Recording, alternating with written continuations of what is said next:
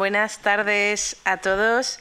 Presidente, muchas gracias por la oportunidad de participar hoy aquí. Es para mí un honor comparecer hoy ante esta comisión en mi condición de consejera de Movilidad y Transformación Digital de la Junta de Castilla y León. En el ámbito de las competencias que dirijo se encuentran las políticas de transportes, carreteras y transformación digital. Tres ámbitos de actuación administrativos esenciales para garantizar una plena cohesión social, económica y territorial en Castilla y León. Quiero comenzar agradeciendo al Comité de las Regiones y en concreto a esta Comisión de Política de Cohesión Territorial y Presupuesto su trabajo incansable para potenciar el desarrollo social y territorial de todas las regiones que integran la Unión Europea. Valoro muy sinceramente sus exhaustivos análisis y propuestas que se plasman en numerosos dictámenes del Comité de las Regiones y que giran en torno a la necesidad de dar un mayor protagonismo a los municipios y regiones de la Unión.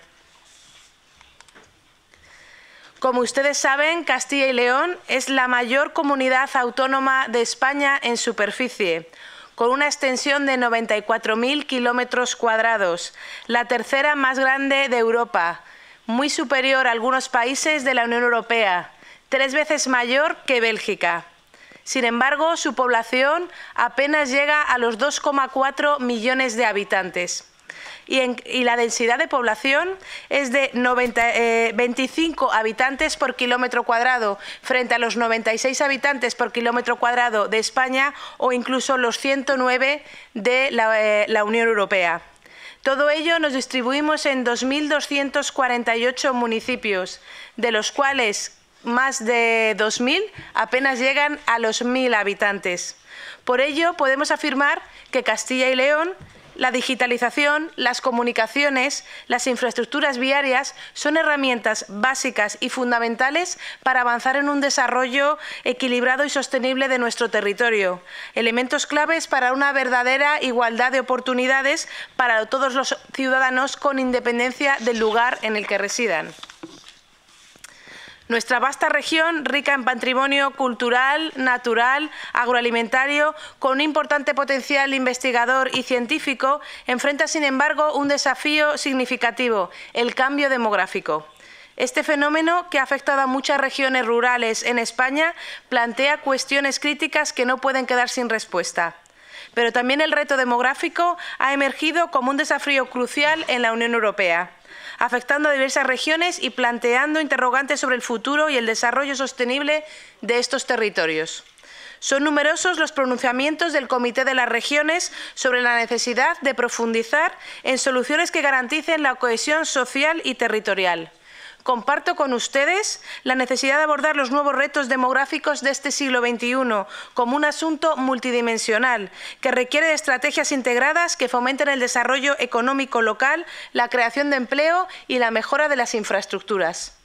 Para la consecución de estos objetivos son necesarias políticas específicas adaptadas a las características de los territorios, reconociendo que no existe una solución única para todos.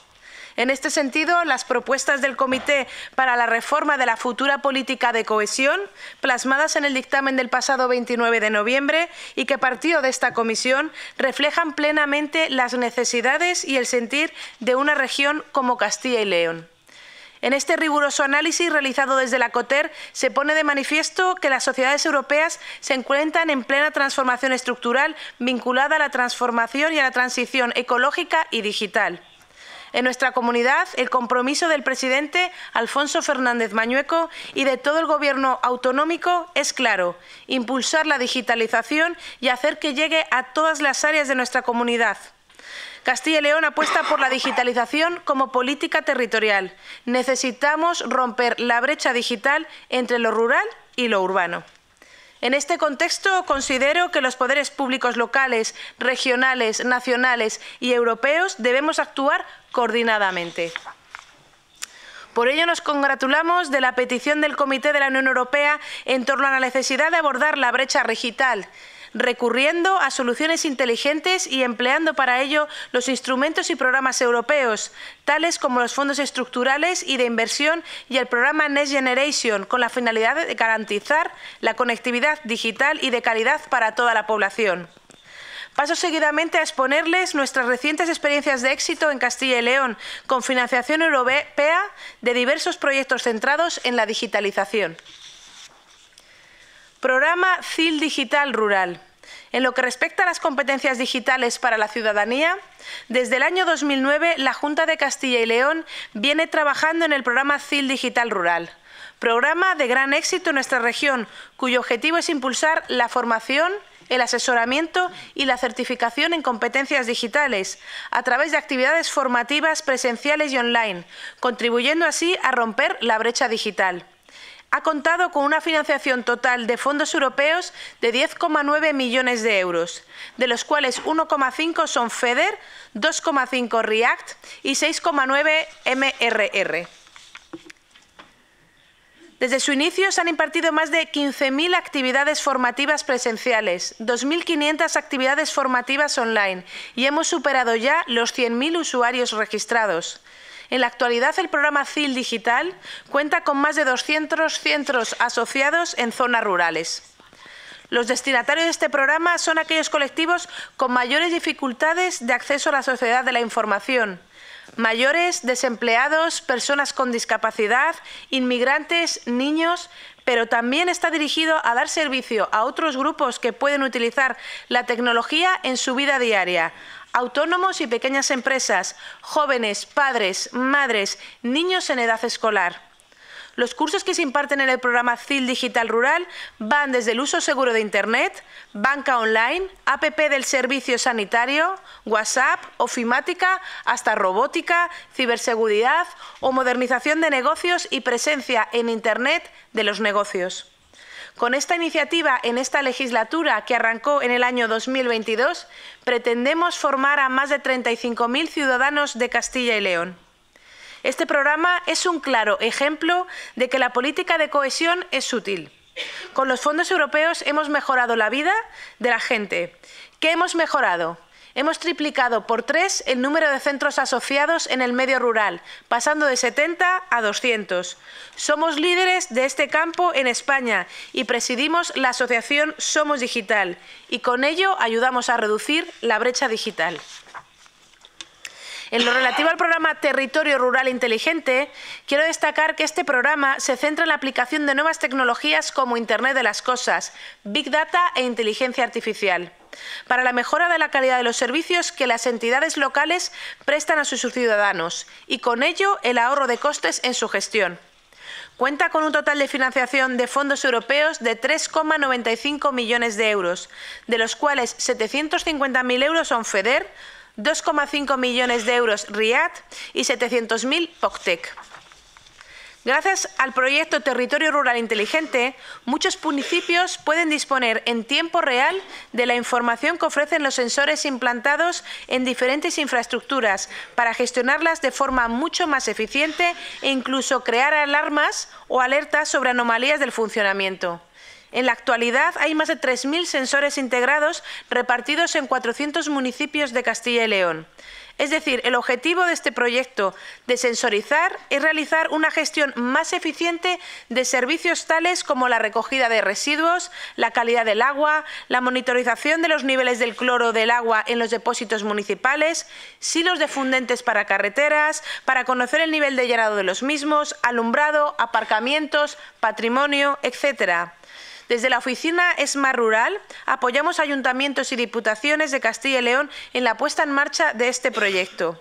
En definitiva, es otro ejemplo de que la política de cohesión es útil. Con los fondos hemos mejorado la satisfacción de los ciudadanos con los servicios públicos. Es un territorio más atractivo, una mejor gestión pública. Y por último, como tercer caso de éxito del programa ligado a las TIC corporativas y administración digital, estamos poniendo en marcha proyectos innovadores que servirán para modernizar las herramientas que permiten un trabajo más eficiente de los empleados públicos y una relación más accesible y directa para ciudadanos y empresas. Este programa cuenta con una financiación total de fondos europeos de 28,8 millones de euros, de los cuales 8,2 son FEDER, 6,6 REACT y 14 NextGen.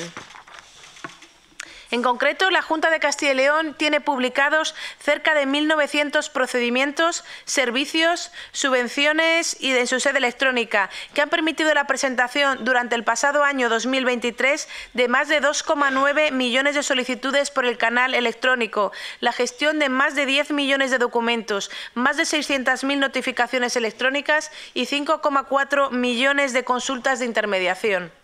Con este programa facilitamos la vida a ciudadanos y a las empresas rurales en su relación con la Administración pública. Además, evitamos viajes, fomentamos el ahorro y sostenibilidad eh, ambiental. Hemos evitado la mayor brecha digital. Como ven, tres programas de éxito gestionados desde la Junta de Castilla y León. Esto ha sido posible gracias a dos elementos cruciales. El primero, los fondos europeos. El apoyo financiero de los fondos europeos ha contribuido y contribuye a mejorar las oportunidades sociales y laborales de las personas que viven en el medio rural, así como a potenciar su participación activa en la sociedad digital. Sirven y han servido para que las empresas del medio rural sean más competitivas y más innovadoras. El segundo es la cooperación y colaboración entre asociaciones y entidades. Colaboramos con diputaciones y ayuntamientos, con las empresas, con la comunidad científica e universidades, con clústeres, con hubs y con colegios profesionales. De esta forma podemos alcanzar los retos y las oportunidades que brindan las tecnologías de la información y comunicación de una forma mucho más rápida. También tengo que manifestar que frente al importante esfuerzo económico y técnico que se está realizando para conseguir una conectividad plena de la población con los fondos europeos, la realidad es que, según los datos oficiales, a Castilla y León aún le queda mucho camino por recorrer y es necesario eliminar la brecha de cobertura que existe en nuestro territorio cuyo impulso en algunos programas está en manos únicamente del Estado de España, que es el que tiene competencias exclusivas en materia de extensión, tanto de banda ancha fija como de banda ancha móvil. Creo que ha faltado una discriminación positiva para territorios con hándicaps geográficos y demográficos, que partiera directamente desde la normativa europea. La tasa de cobertura de fibra óptica hasta el hogar de 100 megas en Castilla y León es la más baja de todas las comunidades en España, con un 75% frente al 91% nacional y el, y el 86% europeo.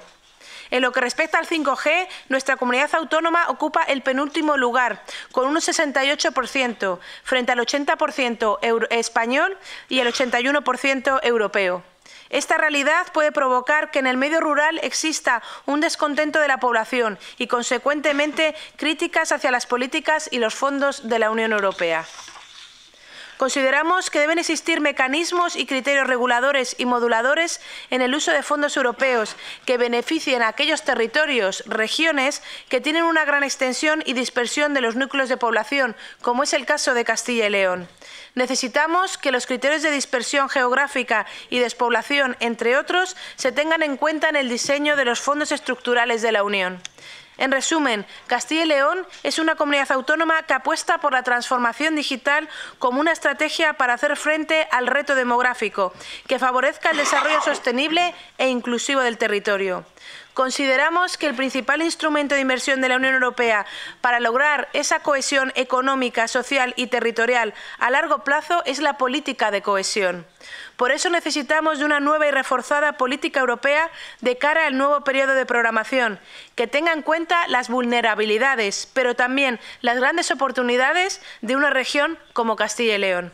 En suma, partimos también con el comité, compartimos también con el comité la necesidad de que los entes regionales dispongan de más financiación y de la capacidad de invertir directamente en su programación. Los pilares de la Unión Europea son sus municipios y regiones, por lo que solo fomentando su desarrollo equilibrado y sostenible será posible un proyecto europeo cada vez más sólido. Muchas gracias a todos por su atención.